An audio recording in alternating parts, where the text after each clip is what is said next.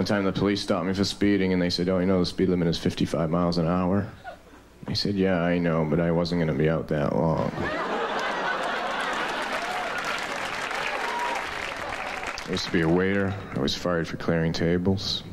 I was clearing them for takeoff. Had them all lined up outside. People thought it was an outdoor cafe. I said, no, these are leaving at three.